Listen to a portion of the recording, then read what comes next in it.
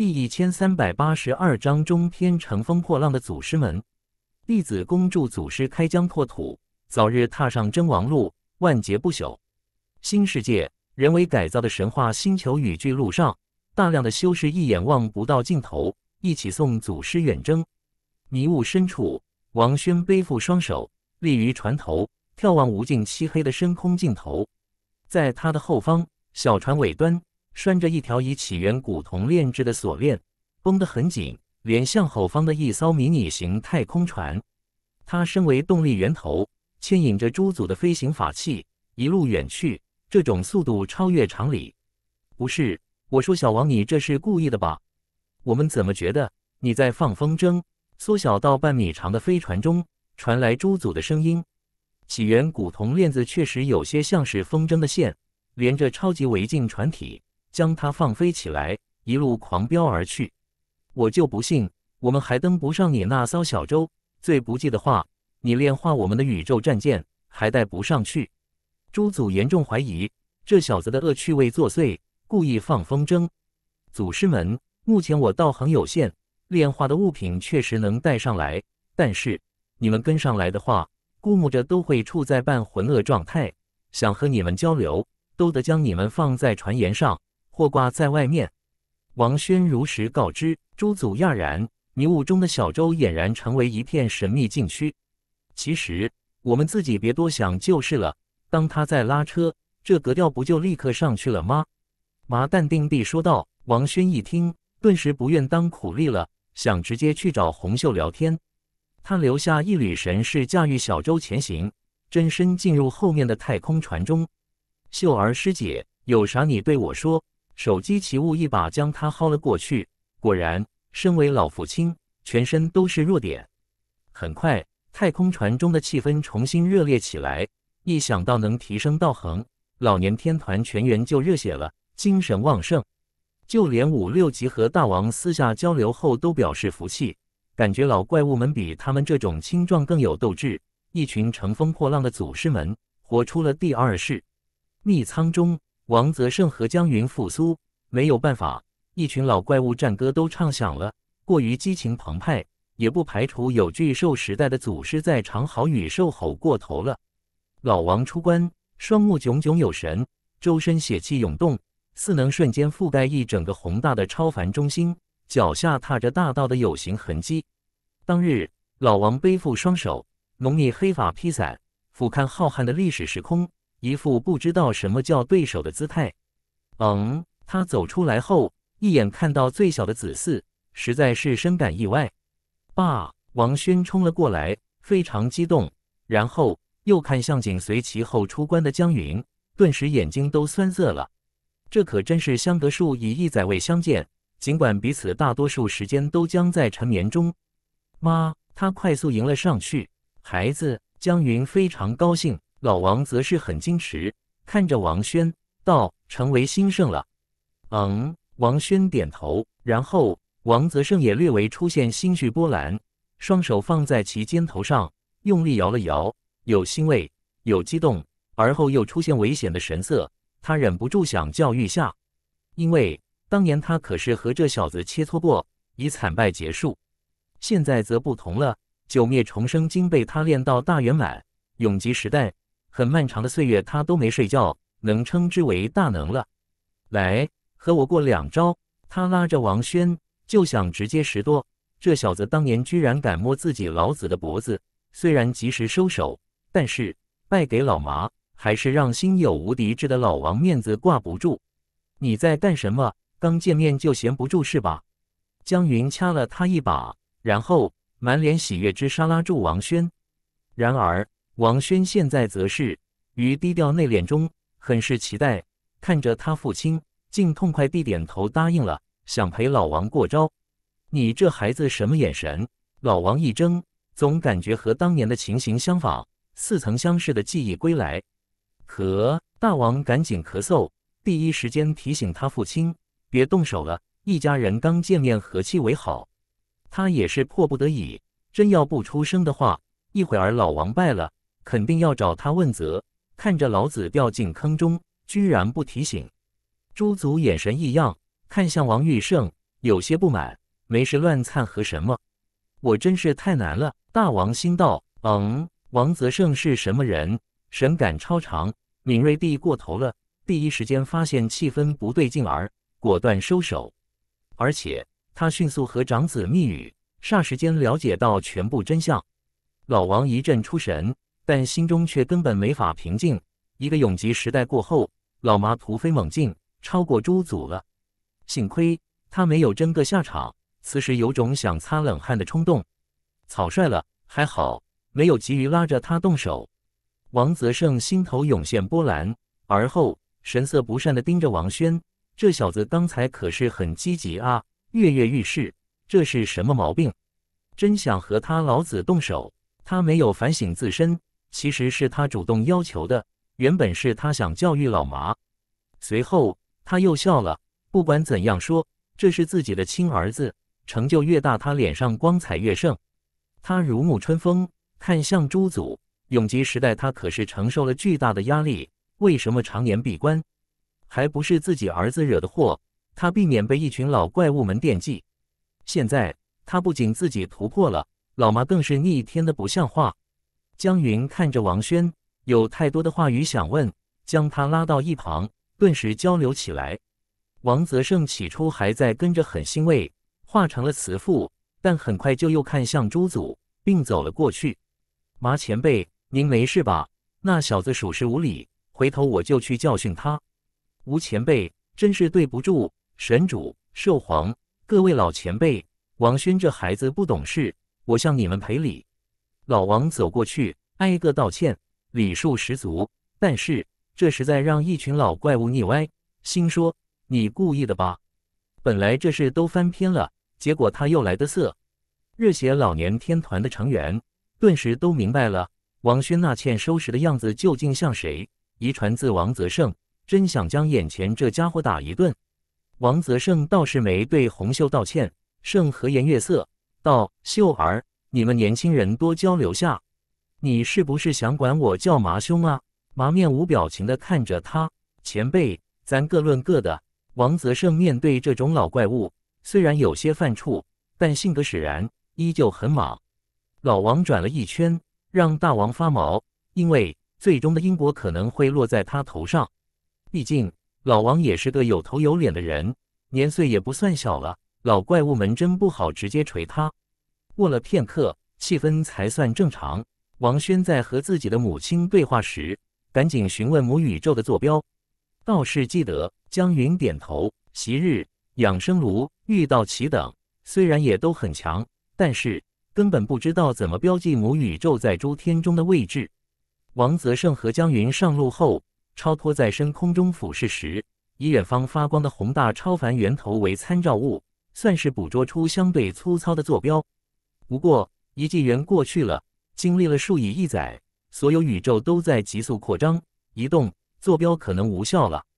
江云说道：“王轩皱眉，赶紧又问古老板，他也曾在那里待过很久。古今提供的坐标更为精确，但他同样表示，如今多半失效了。兼且上一季超凡更迭时，一号源头被恐怖的脚步声追赶，彻底改变轨迹，逃了很多年，不知道偏离向何方了。再加上永吉时代的混乱变化，想找到那块旧地过于艰难。”你别担心，我们仔细研究过了，母宇宙的混沌洞很特殊，就像是少数人的肉身和精神连着密力池，无惧超凡熄灭。而宇宙自身也可能存在这种密力池，混沌洞九成便是。江云安慰老麻说：“混沌洞里面的人与物肯定没事。”王轩松了一口气，他想到和石板中女子的对话，只要能超越真王，那么诸事整片时空没有去不了的地方。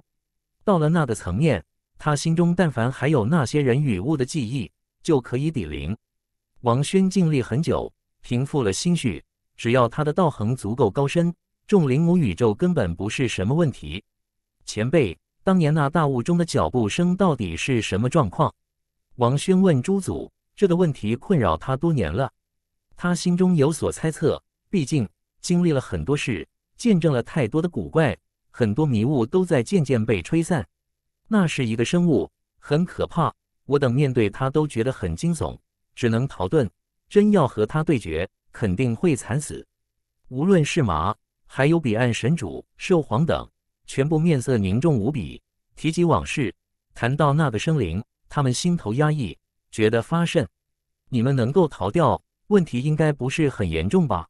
王轩问道。麻沉声道：“你不要觉得现在没事了，至今他还在威胁着我们，时不时出现。我们为什么不顾一切地远征？主要也是想摆脱他，结果甩不掉。”王轩顿时心惊，那个恐怖的怪物跟了他们数以亿载。他询问他究竟什么样子？既然如此强大，为何没有伤害到你等？因为他只是出于本能在动，大概率没有完整的意识。马开口。讲出他们所见到的真相。在那大雾中，有一双腿在奔跑。昔日跟在超凡源头后方，随后又跟上了他们的征程。他是残体，从腰腹部断裂了，血淋淋，上半身消失，下半截躯体是人身，但是右腿满是银色鳞片，左腿则满是紫光盛烈的长毛，很怪异。红袖告知他，也不是要攻击与嗜杀的样子，像是某种本能在驱使着他。跟随和超凡有关的人与物，莫不是一位真王？王轩问道。感觉很怪。彼岸的老神主皱眉。他们在归真残机中挖掘出不少真相，看到过关于真王的记载，而他们身后那个怪物似乎更强一些。王轩动容。早先他有过两种猜测，真王居然都被否掉了。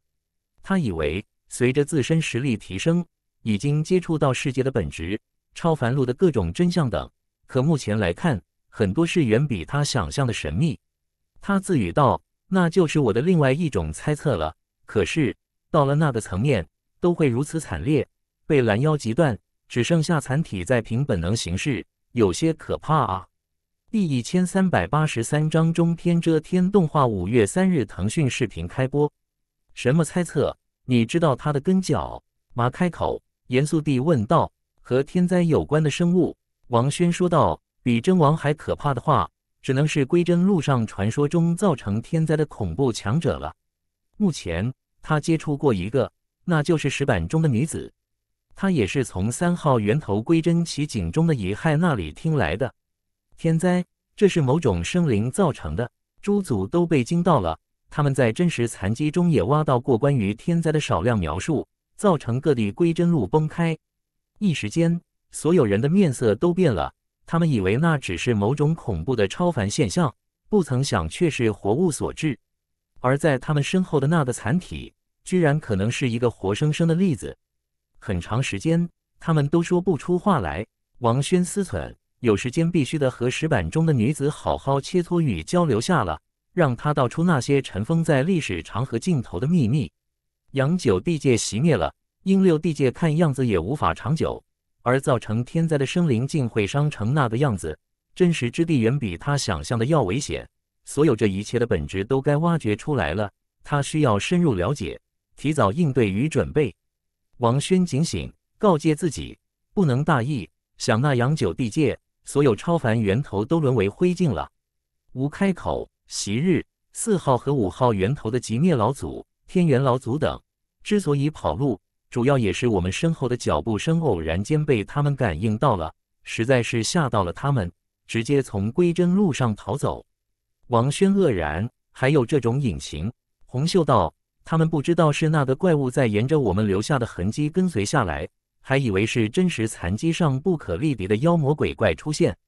永吉时代，那个只剩下半截躯体的怪物也不怎么动，而当各大超凡源头解冻，归真残基复苏后。”那个怪物一重新活跃了，每隔一段岁月就会出现一次。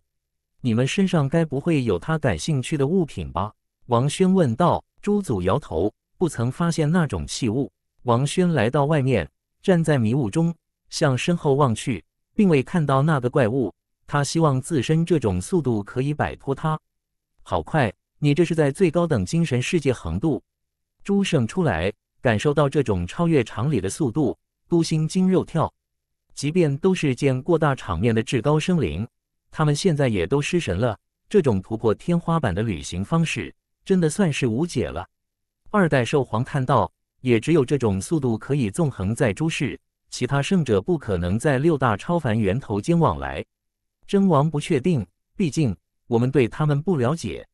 但是造成天灾的生灵一定可以做到。王轩开口。五年后，王轩以超纲的速度一路拖着太空船，有时走捷径，有时走最高等精神世界，接近超级神话大世界。乘风破浪的祖师们早有预案，能不惊动真王，那就暂时不去沾惹，以吸收全新的道运为主。若是无法避免，那就真正碰撞下，掂量那只黑色的大虫子到底有多强，以诸天福王阵针对，看能否挡住。若是最坏的情况出现，我们惨败，那么小王就炼化太空船，将之带在身上。我等暂时浑噩也无法在迷雾中逃命要紧。他们抵达了，嘶，前方气象宏大，道运连绵不绝，底蕴深厚的无法想象。正常情况下，这里就能诞生二次归真的生灵。王轩的迷雾中，一群至高生灵排列，布置好诸天福王阵，谨慎地面对前方的地界。而后在缓慢接近过程中，开始吸收道运。别急，不要风卷残云，蝗虫过境一样，慢慢来。麻丁主他们悬在王轩迷雾的边缘区域，开始汲取造化。所有人都很激动。然而，他们即便再谨慎与小心，也无法掩去所有波动。短时间确实没问题，但是不足半日，超级神话大世界内部就形成一股道运暗流，激荡而起。毕竟他们都是真圣，这样一批人同时汲取道运，再低调也不行。停！一群有组织的老怪物谨慎地采集道运，以王轩的特殊迷雾遮掩，从原地消失，换了一个地方。哪怕有全领域六破迷雾覆盖，可人太多了，此界还是排斥诸圣。他们没有真正深入，只是在超凡源头边缘区域活动。就这样，他们潜行逆宗，低调修行。感受到了前所未有的充实感，这种全新的道运对他们很有用。危险，真王来了！王轩预警，心头悸动。到了他如今这个层面，能危及他的必然是超凡源头下的怪物。他携带着大雾，急速远遁。在此过程中，诸祖皆醒来，全部爆发圣光，催动诸天福王阵。那条通体漆黑的大蜈蚣降临，乌光暴涨，真王领域蔓延。向着这边横扫过来，一时间时光海出现，岁月倒流，逆速时空，让朱胜还有王宣四要倒着回归。对方想将他们全部压制。这次王轩他们选的地带，主要是就靠近四号源头，对应着黑色大蜈蚣的超凡地界，并没接近兽形真王。果然是重形真王到了，展现的战力让朱胜惊悚。还好王轩的迷雾足够特殊。超脱在现实之外，短暂时光倒流的瞬间又归于平静。但是真王一击确实打穿了进来，毕竟这只大虫子也算是偷袭。诸天福王大阵复苏，璀璨夺目，和重形真王的打出的刺目涟漪撞在一起，形成惊天动地的轰鸣声。整片超级神话大世界的强者都被惊动了，挡住了。但是法阵险些散掉，真王实在太强了。彼岸的老神主心头震动，王轩以大雾卷着太空船，急速远遁出去，脱离真王所在的危险区域。有问题的真王，重创之体还这么强，可怕啊！二代兽王叹道。诸圣全部气血翻腾，他们催动诸天福王大阵，硬撼对方一击后，都被震得不轻。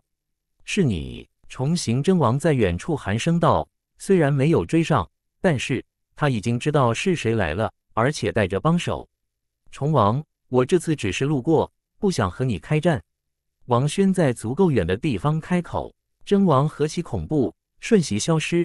黑色大蜈蚣以肉身破碎永恒，碾爆超级神话大世界外的深空。王轩发出精神涟漪的刹那，就已经提前动了，再次驾驭迷雾中的小舟，牵引着飞船上的诸圣远去。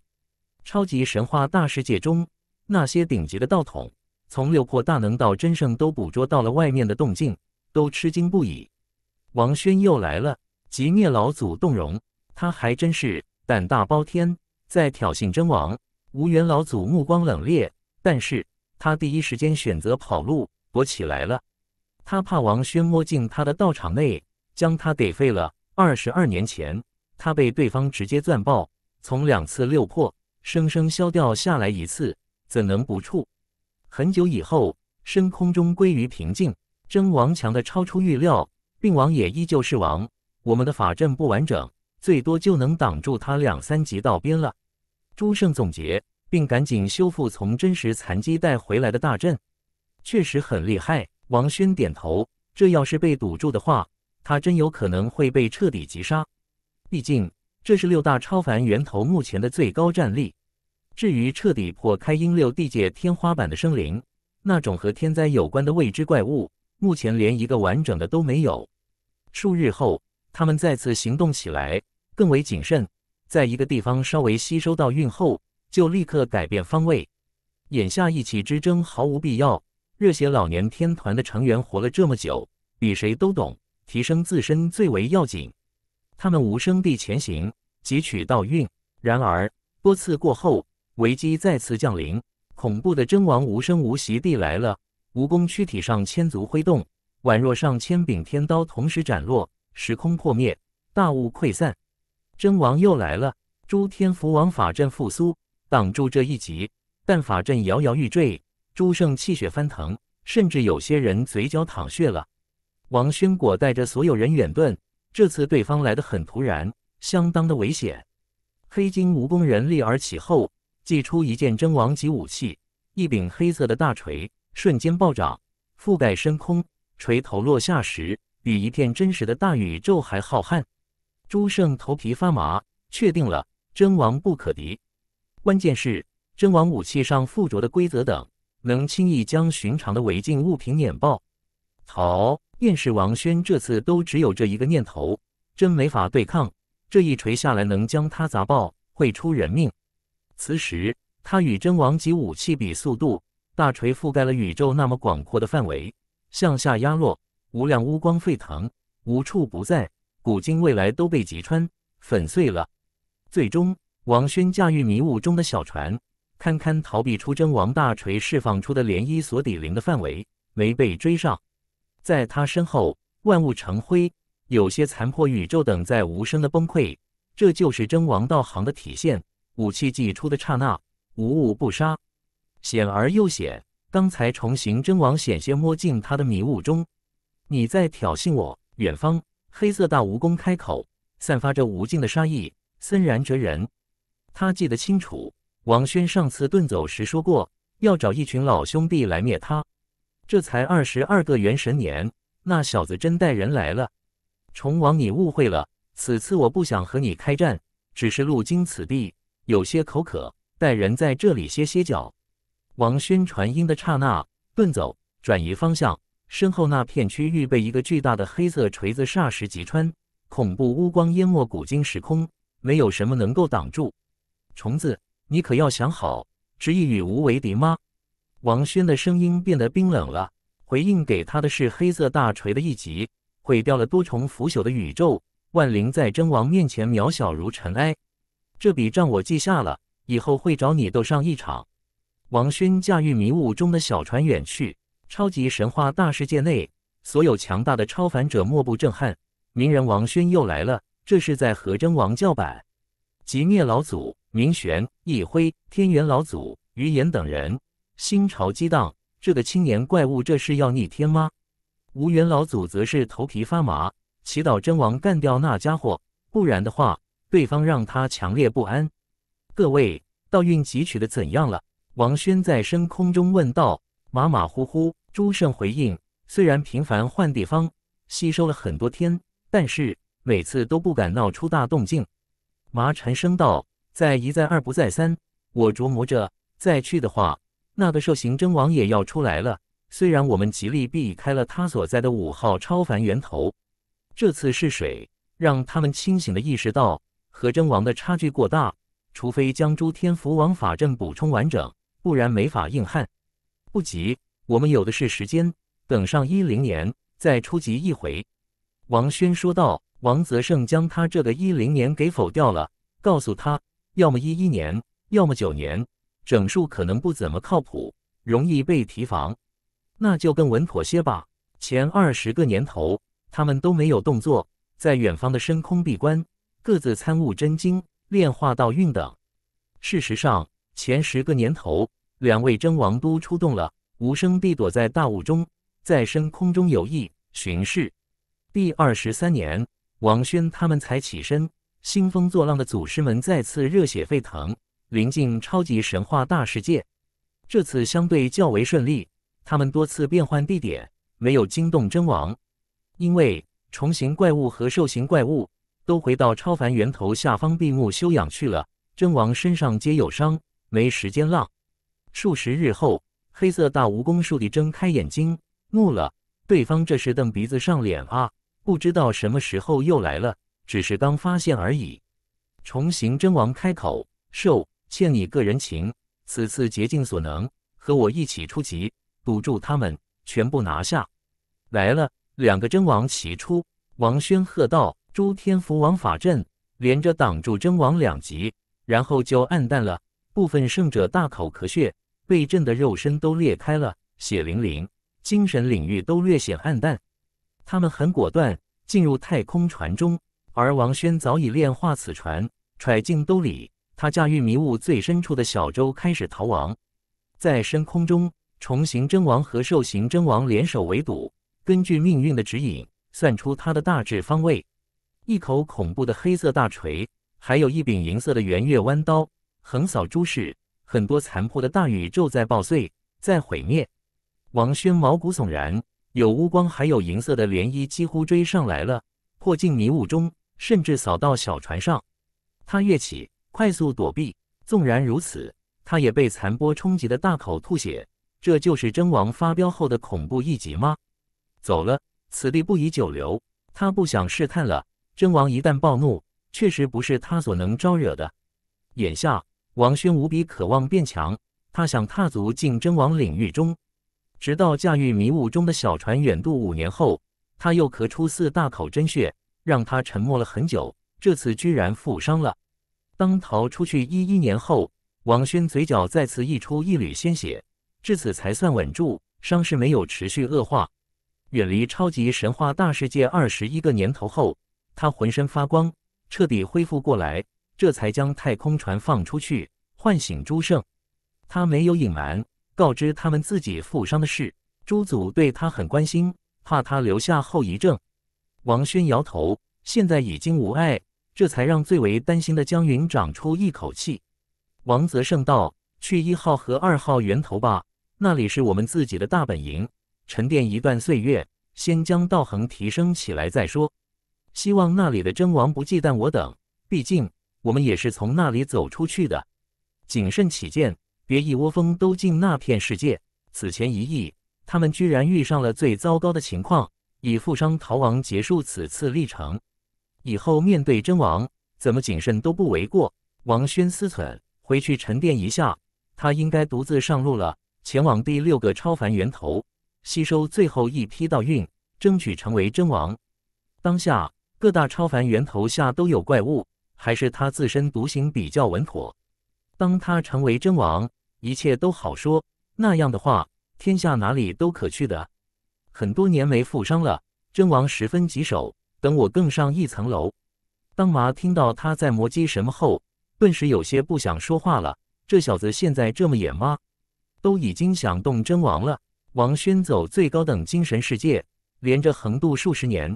终于接近熟悉的那片超凡中心大世界，先在深空中驻扎，过段时间分批回去。这次朱胜很慎重，哪怕即将回到原本的大本营，王轩无声的上路，先进入此界。世外之地，花果山，初代兽皇树立睁开眼睛，看着站在面前的王轩，整个人都呆住了。你也三次归真了？他有些难以置信，这小子跑出去一趟。回来就能和他比肩了。当年我就快到这一步了，这次不过是水到渠成，正常。”王轩说道，而后暗中问他：“家里没什么变故吧？能有什么事？你也就离开百年出头而已。”初代兽皇说道：“这么短的时间对他来说，不过是打个盹的功夫。前辈，我这次我给你找来一群好友，其中一个不是你亲儿子，就是你徒弟。”应该和你关系不远。谁？哪个？回头再说。我先出去转一转。一人王宣出关，时隔百年，再次行走世间。奈何花果山很多故人都在闭关中。他去看望陈永杰、老钟等人，意外发现青木河中城修行之余，居然在拍摄超凡动画，将母宇宙的遮天给还原出来了。青木道：“小王，你出关了，正好帮我们看一看，我们觉得还不错。眼下遮天定档在五月三日腾讯视频独播。”王轩顿时有些风中凌乱，什么情况？熟悉的视频网站，熟悉的作品，在这个世界被他们还原出来，他也就离开一百年出头，变化还真是快。忠诚神秘兮兮，低语道：“经过我们考证，这天的作者可能是个超凡者，当年多半也跟着渡海上路了，大概率还活着，在这个世界中。”第一千三百八十四章中天危机出现，母宇宙的某些事物复现在这里。确实勾起王轩某些回忆，他彻底安静下来。还记得当年他去密地接赵清汉和吴英回家，他们两个也曾兴致勃勃谈及这些话题。那时他们风华正茂，青春蓬勃，欢声笑语不断，而所有这些都快速自王轩眼前浮现过去。岁月迅速流逝，最终一个安吉在混沌洞中，如今找不到了。另一个自己穿上婚纱，平静地躺在床上离世。一只小狐大哭不止。你在发什么呆？忠诚诧异地看向他。王轩回过神来，道：“被那逝去的青春岁月挤了一下腰。”青木催促他看一看他们的改编与制作是否足够精彩。王轩因为那些人缅怀那段岁月，静静地观看，露出亚色，道：“剧中主角叶凡的书房中。”居然摆着和作者的合照。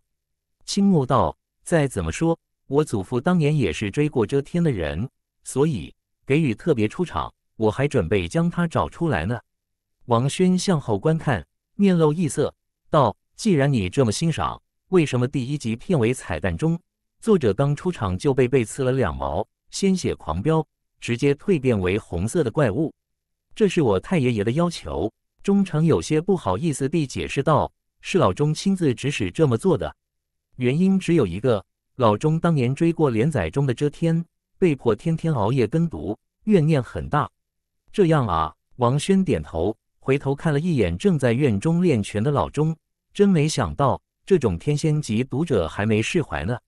要不要我动用因果线将那疑似是超凡者的原作者调出来？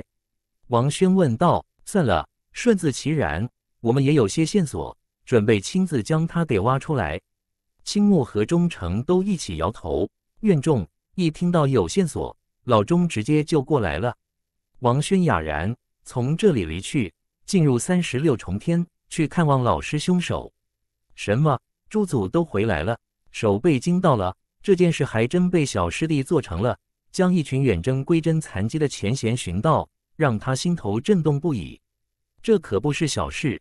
一号超凡源头最高端地战力都在外面，现在居然横渡诸天万界，奇迹般地回来了。首座就要起身去看望朱祖，这么多年来他的压力其实很大。一群老怪物全跑了，让他看家。面对的大环境实在是过于复杂，连三号归真奇景中的真王没事都会溜达过来转一圈，这谁受得了？不急，他们会分批摸进来，到时候应该会主动找你。王轩向老师兄了解百年来三个超凡源头的秘闻，因为他觉得初代兽皇太粗犷了，压根不怎么管外面的事。三号本土那边很安静，归真奇景中的遗骸都直伏了起来，手告知。但是他也听到一则秘闻，源自二号源头的六魄大能云灵。二号源头下的布偶真王对他托梦，让他们低调点，目前局面复杂而又危险。说三号归真奇景中的真王杨已悄然远行，很可能意味着他可能认识远方的神秘强者，有真王级的帮手。王轩闻言变得无比严肃，真王级的强者他已经领教过了，不被追上还好，真要去硬汉，目前他没什么希望。若是被真王悄然摸到身边，并被他们堵住，他大概率会死掉。他有压力了。三号源头归真奇景中的真王为什么远去？大概和他有关。毕竟上次他恼了，利用迷雾中小船的超纲速度斩断归真奇景中的主峰。因为没有接触，不曾交手，对方猜测不到他的深浅，以为他也是一位真王。这是去请其他真王级高手助阵。很多年了，王轩没有这种紧迫感了，必须的变强了，不然的话容易出大事。尤其是他被那条虫形真王级伤后，竟养伤二一年才痊愈，这种体验很不好。他不想在接下来的岁月里也要面对生死危机。果然还是老师兄敬业，从二号源头那里的吸这些秘密。王轩皱眉，目前一号源头下的巨人从未向本土人托梦，他伤得太重，手开口道：“他和哥修也尝试接近过，没有得到什么积极回应。老师兄，我给你带回来一些土特产。”王轩取出成道瓶，向外导出其他超凡源头的道运，此外还有彼岸的十五色道泽秘石。这些对单一六魄的大能很有用，堪称最稀珍的造化物质，太珍贵了，手心惊了。这才多少年，小师弟已经开始回头来接济他，竟送出这个级数的奇物。齐兄，醒一醒！王轩呼唤在这里闭关的玉道奇。片刻后，全身嘴最硬的玉道奇失神，有些说不出话来。当年被他庇护的毛头小子，如今竟已经开始投喂他，但是。很快他就想通了，这不寒碜，说明他眼光超好，进行了人生中最重要的一笔投资。尤其是当他看到手都在那里吸收到运，泰然处之，他顿时也放开了，嘣的一声咬住一块奇石，嘶，这时五色道泽觅食碎片各牙啊！他的嘴巴化成枪尖，遇到纹理交织，开始慢慢炼化十五色奇物。当日手悄然远行。出于礼貌，主动去拜望马武等人。几乎是同时，初代兽皇也进入深空中，见到了自己的弟子鹏。二代兽皇的本体是一只金翅大鹏，圣羽张开，便如同无量仙剑铮铮而鸣。他走的是剑仙的路数。数日后，一些老怪物无声地进入一号超凡源头，没有引起波澜。王轩将自己的父母接到花果山道场。马武等回到三十六重天，他们都很低调，暂时都蛰伏了起来。还有相当一批人进不来，比如彼岸宇宙的那些生灵，还有绝地中的老怪物猿奇等，因为他们从一号超凡源头脱离出去数十纪，早已被排斥，需要逐步交融。回归的真圣面色都不是多好看，部分人的老巢被外圣邪神占据了，将来肯定会有波澜。不过有麻。吾等人把握大局，再加上热血老年天团的名誉副团长初代兽皇，确保平稳过渡，问题不大。数日后，诸祖中的六破者密会一致认为，眼下的局面看着平和，但是不知道未来什么时候就会打破宁静。因为超凡源头下的真王的心思真的猜不透，这些老怪物好像都在舔舐伤口，暗自养伤中。我怀疑，他们一旦全面恢复。就可能会发疯，比如三号归真奇景中的羊，当下就有些活跃了。羊九地界熄灭了，目前来看，阴六地界也不可避免。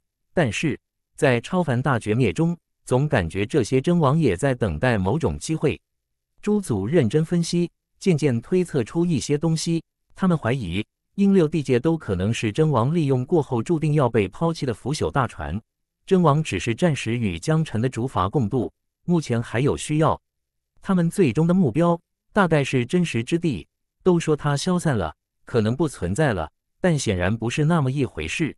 一群老家伙结合王轩提供的阳九地界的见闻，再加上他们从归真路上挖掘出来的那些残缺的资料，进行了各种研判。阳九地界熄灭时，九大超凡源头很惨，但是或许正是因为九艘腐朽的大船破灭的刹那，真实之地出现了。古早时期的那批最强者得到了某些了不得的好处，而在此过程中伴着真实大战，当然九成强者都仅是陪跑者，甚至诸祖认为超凡源头下的真王当年都是在伴读与陪跑，并非那个时代的主角。现在轮到他们养好伤，将做大了。真王是这个时代的主角，很明显，诸祖共议得出的部分结论很惊人。他们在摸索与还原阳九地界熄灭后的事，从而眺望阴六地界的走向。王轩皱眉，身为六魄大能，他也属于最高层了，在旁听着。按照一群老怪物的分析，未来堪忧。一号超凡源头下的真王知道你们回来了。初代兽皇开口，他身为三次归真级强者，刚才尝试和超凡源头下的巨人沟通，对方依旧淡漠平静，没有给予过多的回馈。真王确实很强，能发现我们并不意外，只希望依旧如过去，彼此相安无事。马开口道：“自从回归后。”他们就感受到了整片世界的孕育的大造化，两个超凡源头融合后，可以缓慢提升他们的道行，真舍不得退走。事实上，手机奇物与无有道空的融合体，要不了多久，应该就能正式踏足三次归真层面，因为本身几乎已经要破关了。麻看向王轩道：“我支持你远行，如果你真有那种超纲的手段，能尽早破到真王领域中。”就不要耽搁点滴时间。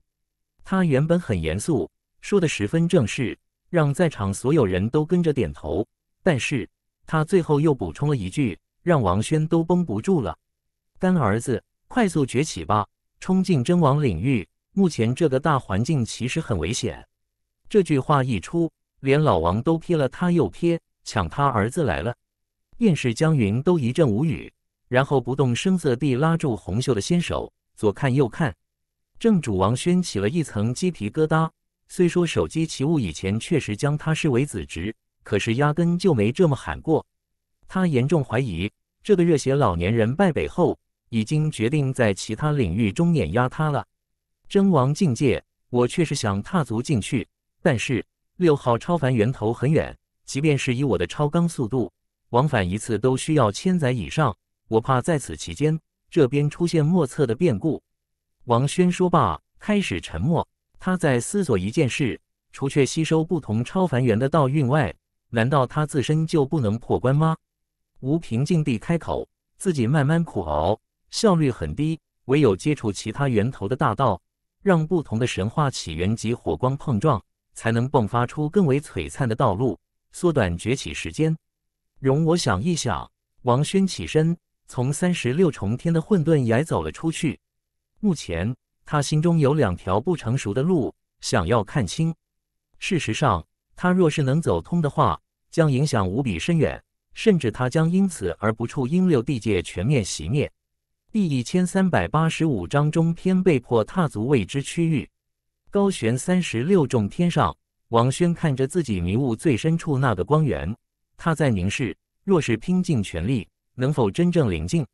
他收回目光，那是浑厚的命土下方的世界，着实无限璀璨。他想洞彻其本质，为何有那么多超凡阴树海？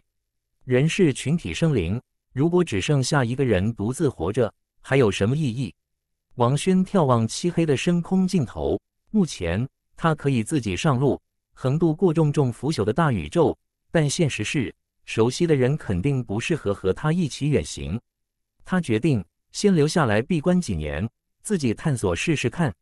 若有前路可走，那么暂时他就不去六号超凡源头了。毕竟一次往返就是千载以上。如果按照上一季存续不足两千年来看，远行一次，那么等同于半个纪元过去了。昔日有些纪元动辄璀璨十几万年，而今随着阴六地界要落幕的趋势朦胧的出现，各种迹象都让人深感不安。总体而言，王轩一路走来，虽有波折，但都平安度过。很久没有对来出现忧患与危机感了。真王复苏，病要出来了。有这个极数的生灵盯上他，迫使他不得不神色凝重，心头有了压力。深空尽头，阴六地界很偏远的地带，甚至在走上这样一段距离，就要接近阳九地界了。阳匆匆赶路，他真的很强。一走就是上百年，贯穿阴六源头辐射的大片范围，来到一片荒芜之地。当然，他也不是靠自身横渡，他在走袭真实之地坠落下来的部分驿站，也只有他这种极数的老古董真王层面的生灵才能找到。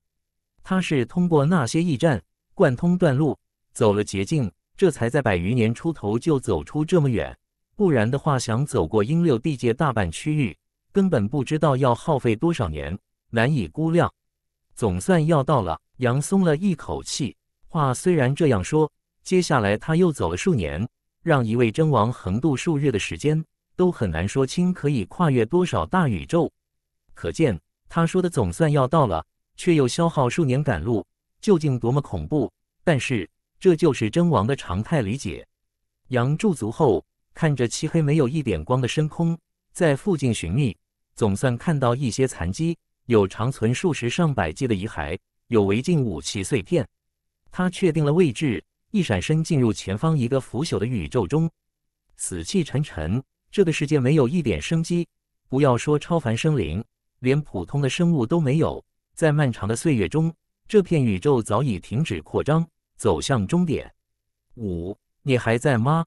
杨站在这片腐朽之地，眺望前方一片深渊，最终一步踏了进去。宇宙之渊最深处，到处都是崩塌的宫殿，原本的金砖玉瓦和违禁材料等都早已稀巴烂。但是在破败中，一座残城横在前方渊海上方，发出微弱的光。缭绕着浓重的大雾，这是归真残城，比那些驿站大的太多了。杨自原地消失，下一瞬立足在虽然破碎但依旧宏大的残城中，瓦砾遍地，但有少数建筑物还顽强地矗立着。他站在一座暗淡的殿宇前，当中超凡蛛网密布，供奉的圣像差不多都坍塌了，只有一座满是灰尘，还没有倒下。五，是你吗？杨看着唯一还完好的圣像，霎时间，一盏油灯自然摇曳出朦胧的光，照亮这座古老的殿宇。盘坐未倒下的圣像簌簌震动，灰尘尽去。一个面色苍白、黑发散落着的男子睁开眼睛，他血迹斑斑，甲胄破碎，像是刚走下战场。事实上，他也不知道有多少纪元没走出此地了。他是真王五，你自身未复原，来我这里作甚？武问道：“老朋友，多年未走动，有些生分了。没有恢复就不能来看你吗？”杨开口，他目光所至，整片大殿都不同了，整片时空都在变化中，所有瓦砾全部悬浮起来，时光在倒流，断壁残垣等全面在重组，一座宏大的龟真古城出现。这座殿宇更是变得庄严肃穆，满地都是违禁及符文在闪耀，雕梁画栋。哪怕是最简单的建筑布局，都是出自六破领域的手笔。五复苏后，短暂沉静，探索着诸事，神游重重腐朽的大宇宙。过了一会儿，才开口：“想不到啊，英六地界也走向衰败了，归真之地或许又要显现了，你坐不住了。”杨点头道：“英六地界要结束了，我邀你去六大源头之一，共承办真实的腐朽大船，将来携手踏进真实之地。”嗯，真王开始向英六源头汇聚了。五的双目中，竖地射出骇人的光束，一瞬间，那倒流的岁月被重塑的城池彻底凝固。接着，整座归真巨城那些六破领域的符文全面暗淡，时空坍塌，一切都轰然解体了，瓦砾砰砰坠地。杨神色郑重，有神秘真王开始出现。我建议，宜早不宜晚，避免阴六地界突然熄灭。来不及上船，你有对手了吧？想让我过去帮你？武平静地问道。作为老友，我们曾并肩战斗过，有什么我都会想到你。阴六源头虽然将息，但也有机缘。六大源头于腐朽中正在抽出新枝嫩芽，等待采摘，孕育着浓郁的造化生机。杨带着淡笑说道。接着他又补充：其他真王也在复苏，走出来的日子不会很远了。武长身而起，身材十分高大，雄姿魁伟，很有压迫感。道：“英六地界寄托着我的神思，我曾发过某些誓言，容我想想。先让我借用下你的这座归真巨城吧，向我的归真奇景道场传个讯。离开太久，该打个招呼了。”三号超凡源头，平静多年的归真奇景中，某座古老而残破的驿站泛出点点黑色涟漪，打破此地的宁静。一号和二号源头融合后的新神话世界，世外之地花果山。王轩已经闭关五年，他尝试接近迷雾中的源头，以元神共鸣，将真灵投映过去，可惜终究隔着一层纱。他感觉元神最核心的光芒已经无限抵临那里，但最后还是力竭了，被那光源避开，被迷雾所阻。等他精疲力竭的结束这种尝试后，他以为只过去了片刻钟，而现实世界中居然已经流逝两年。王轩暂时放弃，随后的三年里，他的的意识沉入命土后方的世界，不断探索，路经虚无之地，贯穿陨石通道，上方波澜壮阔，那是一片又一片海，无尽浓郁的超凡因素，让他都为之神迷。世间有少数人具备秘力池。肉身和精神背后连着神话因素洼地，无惧常规的枯竭时代。但是，像是这种毅力海，实在算是艺术，一片又一片，太多了。王轩已经利用起来数十片海。平日间，他随意一个念头，命土中就会蒸腾出超过八十一种超凡因素。而真相是，在更远方，还有许多未曾开辟的毅力海，他们或寂静无波，或狂暴到要撕碎天仙。毁掉一人，这么多年，王轩一直在缓慢探索，但非常谨慎，并没有途径，因为他心中始终有些忌惮。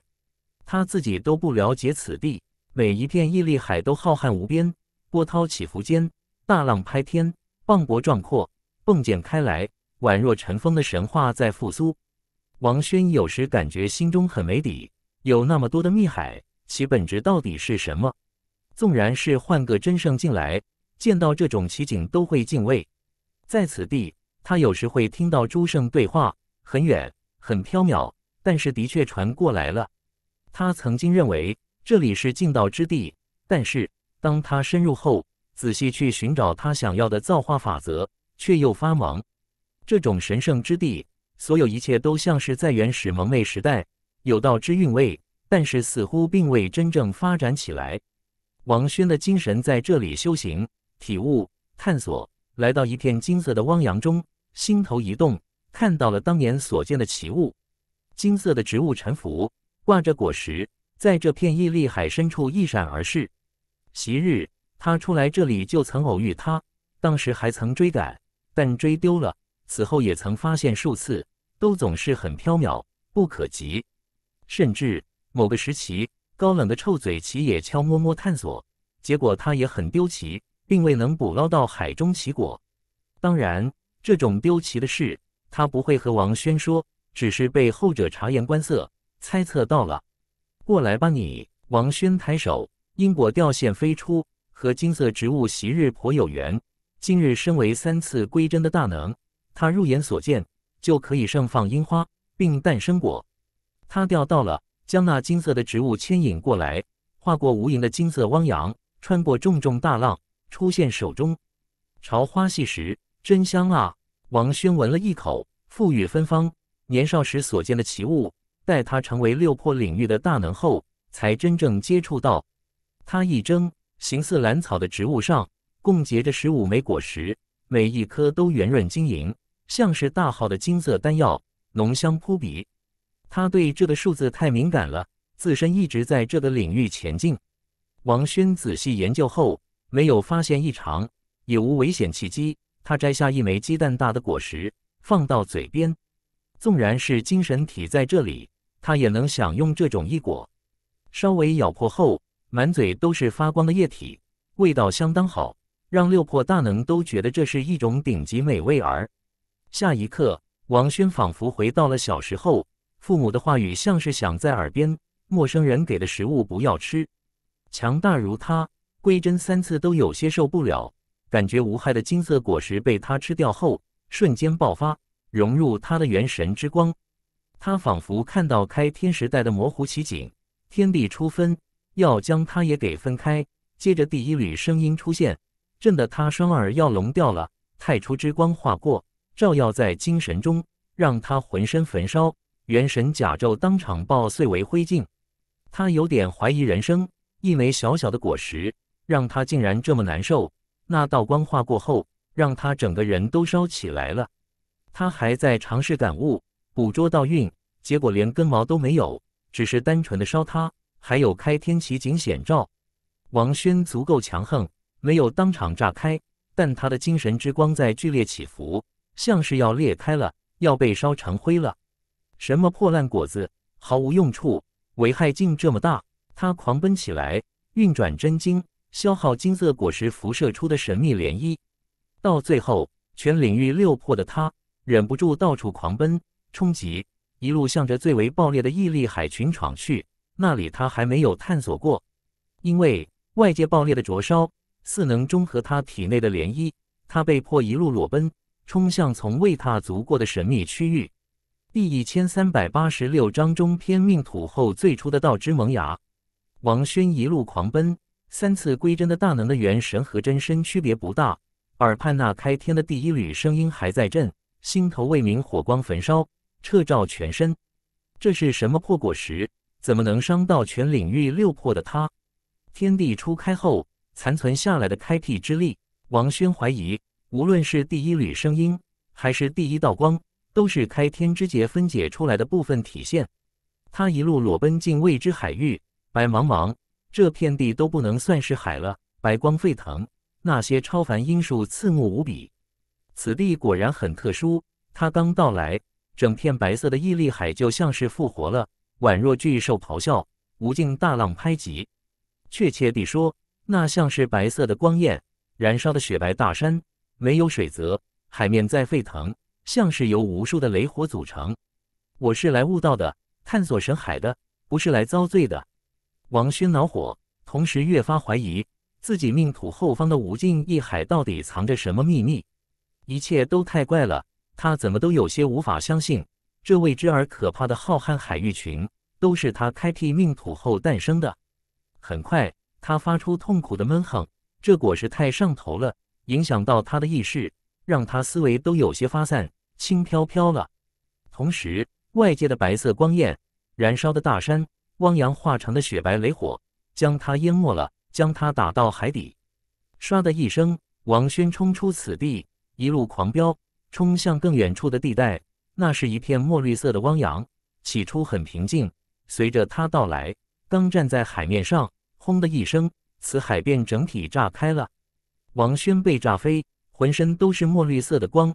他用力甩了甩头，道：“海水中蕴含着外劫。”似乎真的可以对冲果实对我造成的内劫的影响。再来，就这样，他一路狂奔下去，看到了各种各样的毅力海。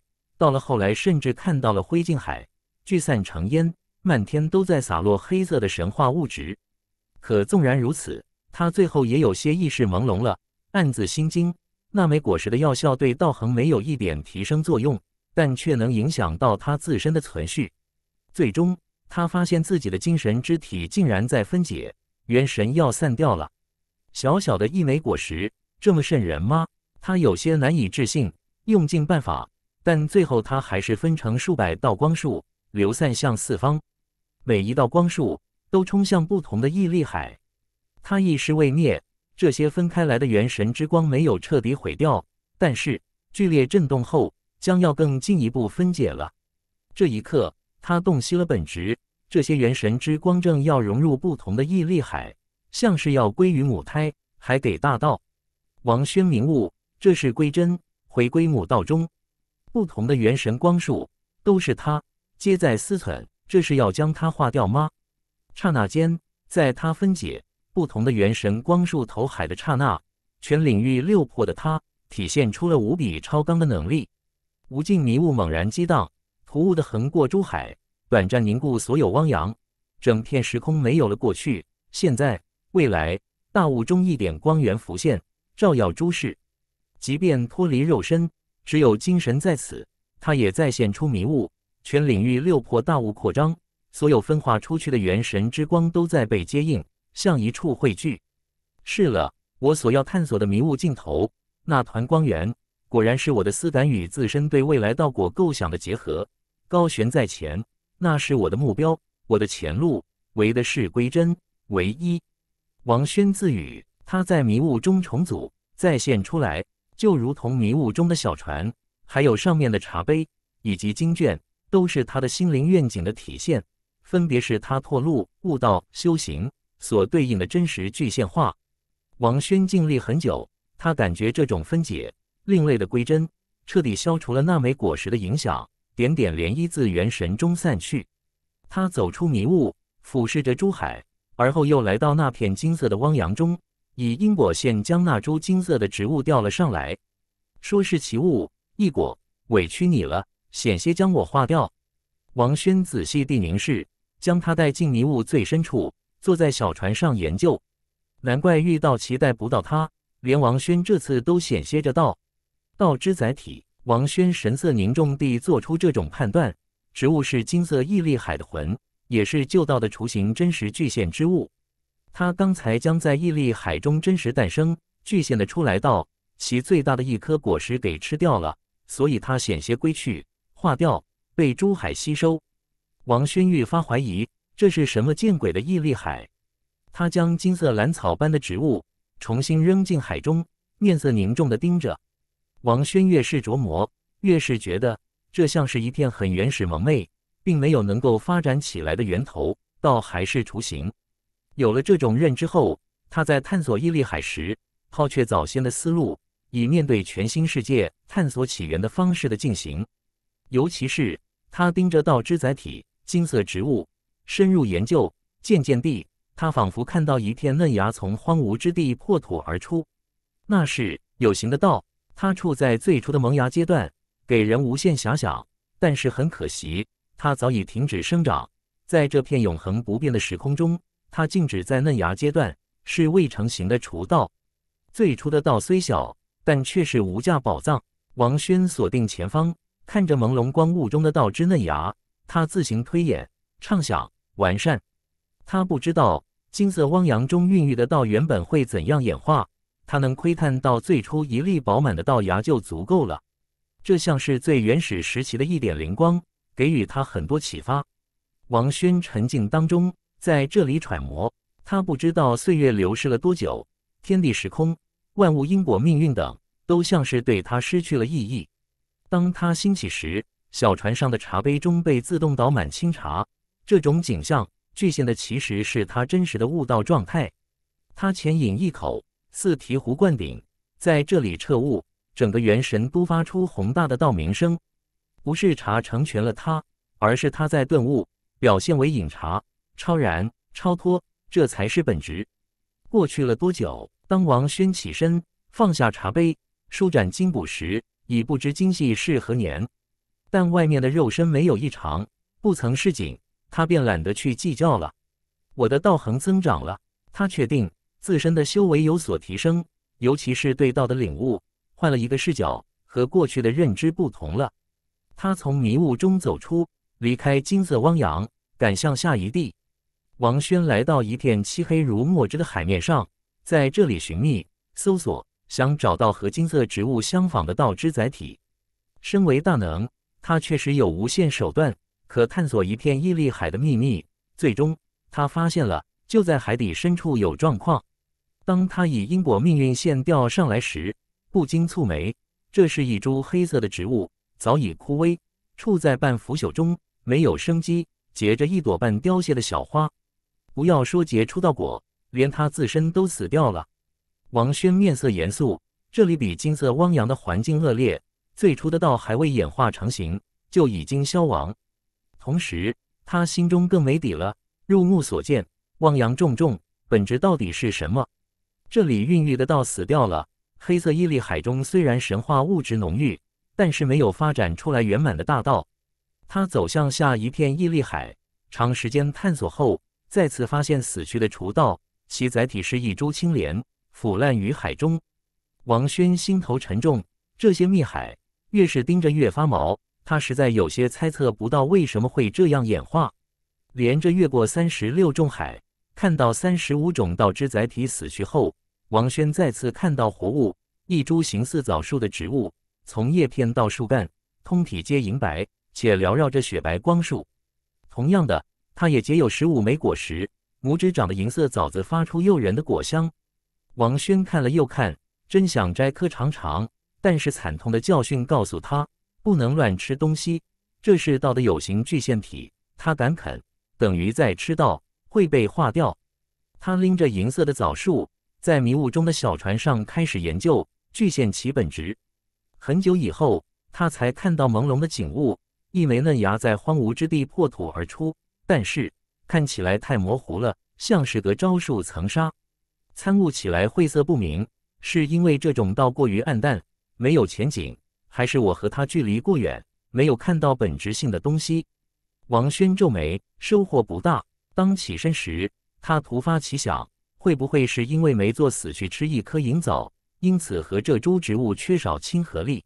想到这种可能，他就付诸行动了，摘下最大的一颗仙枣，美味让他这位大能都显得有些陶醉。